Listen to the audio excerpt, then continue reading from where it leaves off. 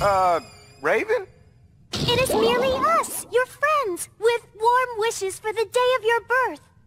I told you a surprise party was a bad idea. Lay a cake with three kinds of frosting? And I have assembled for you a traditional Tamaranean Throcknar, the crown of meat.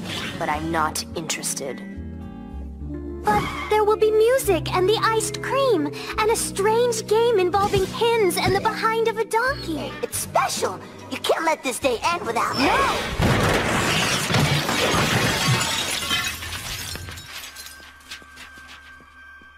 Raven, what's wrong? I just don't like parties. It's more than that. I can tell. We have a bond, remember? You've been inside my mind. Let me inside yours. If you knew anything about the day of my birth, you'd know there's nothing to celebrate.